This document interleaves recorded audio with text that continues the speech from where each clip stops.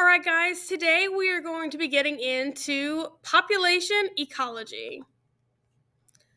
So, characteristics of a population. A population is a group of individuals that belong to the same species that live in the same area at the same time. Population size is just the number of individuals in the population. Size is a very important characteristic of population, but can be very difficult to measure. Geographic distribution is the range of a population. This term describes the area that is inhabited by that population, and the range can vary in size. It may just be a few centimeters, such as the mold on a piece of your bread. The range can also be huge, such as the alpine meadows of Yellowstone National Park. Population density is the number of individuals per unit area. So, density is one of the main characteristics that describes a population.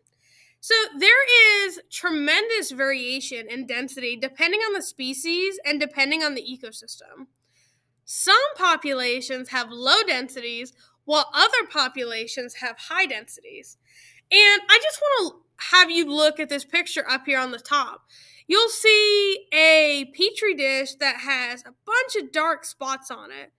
Those are bacteria colonies.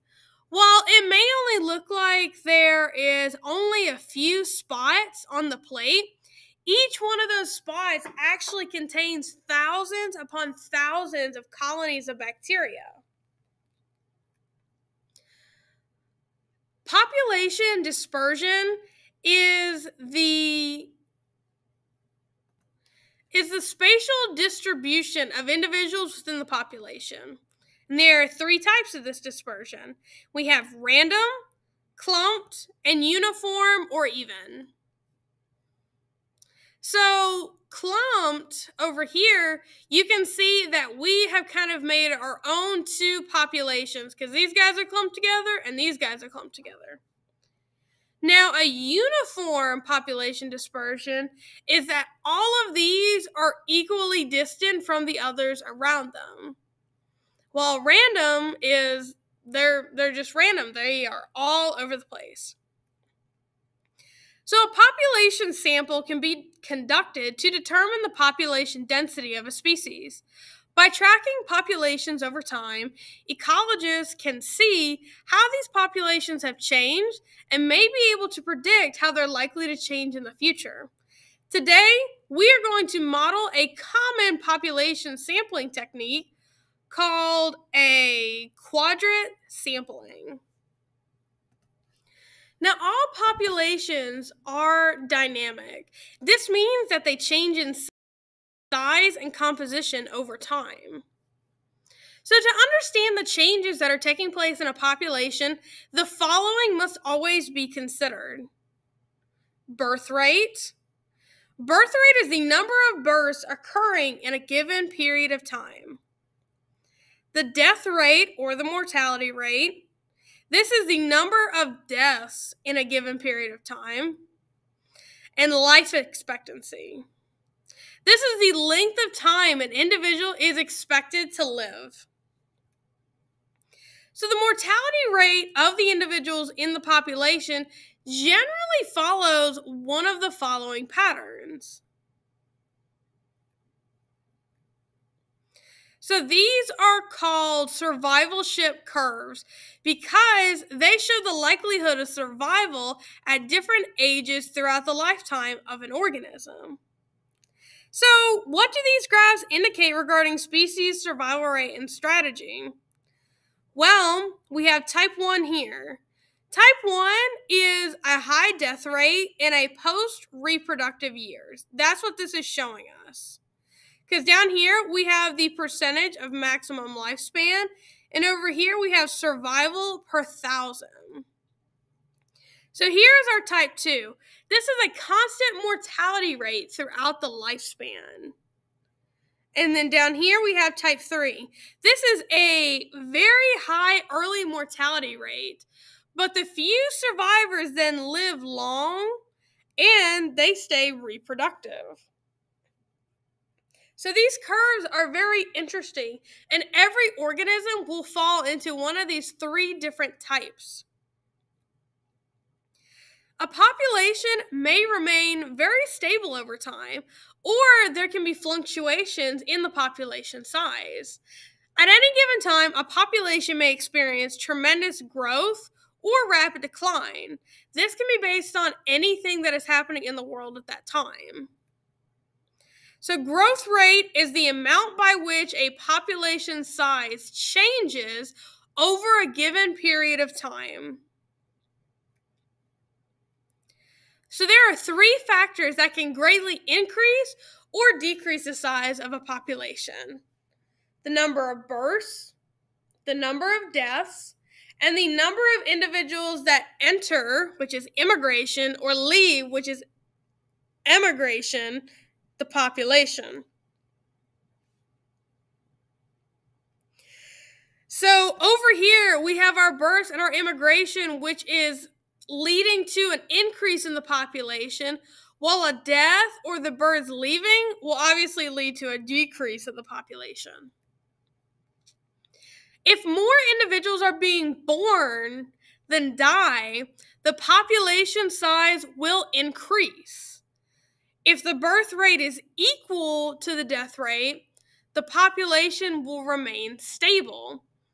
But if the death rate is greater than the birth rate, the population will decrease. Now, when studying population density, it's important to ask the following questions Why is the birth rate unusually high or low? Why are more individuals dying than normal?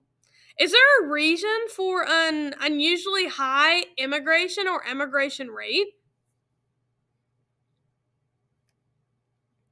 There are two ways to describe population growth exponential and logistic.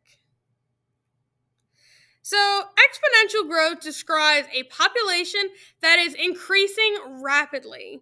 The larger the population gets, the faster it will continue to grow. So, one example of this is with bacteria. Bacteria can multiply so quickly, and that's where we see that dramatic growth in population. Now, with exponential growth, it's viewed on a graph, and the pattern of the growth is a J shaped curve. Now, a J shaped curve indicates the population is growing exponentially. In real life, populations cannot continue to grow exponentially for very long. Resources will begin to become scarce and waste will accumulate, which inevitably limits the growth. Now, in addition, competition for the limited resources will intensify as the population continues to grow. So, a limiting factor is any factor that restrains the growth of a population. Examples can be space to grow, food, water, predation, competition, human disturbances, and so many other things can limit population growth. So, how will resources be limited during the growth of the food population?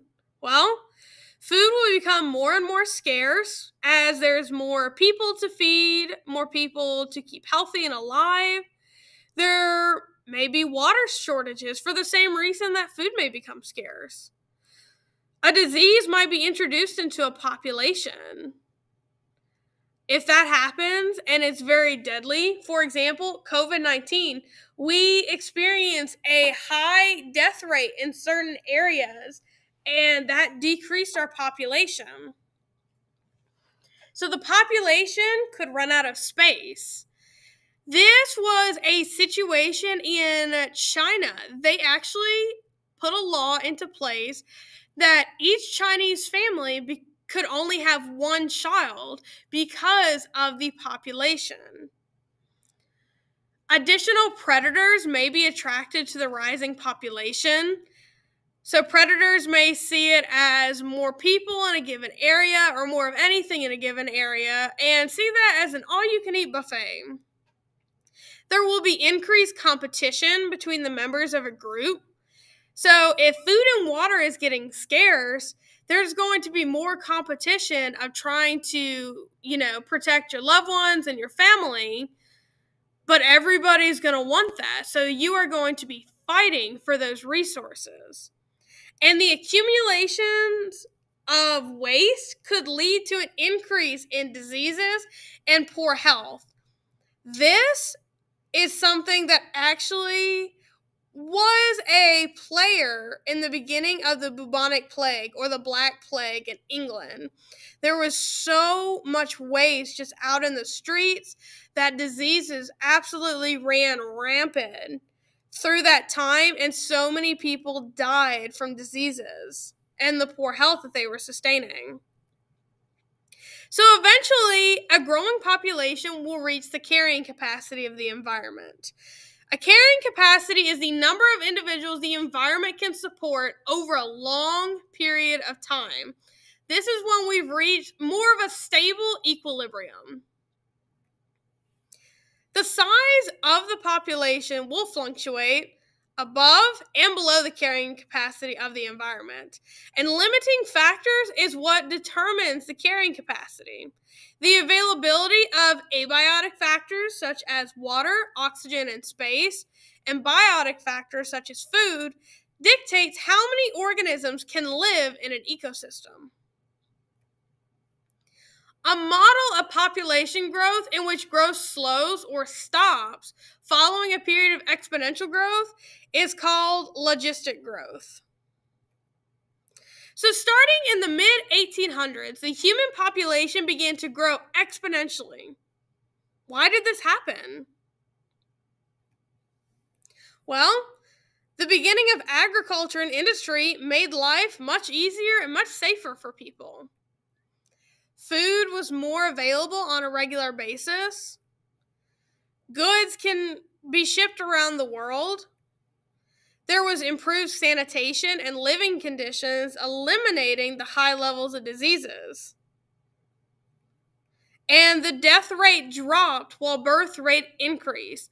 Life just got so much better in so many ways, and that's why we see this rapid increase in population.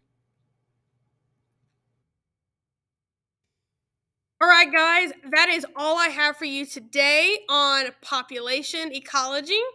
Make sure if you have any questions, you be sure to bring those to me. And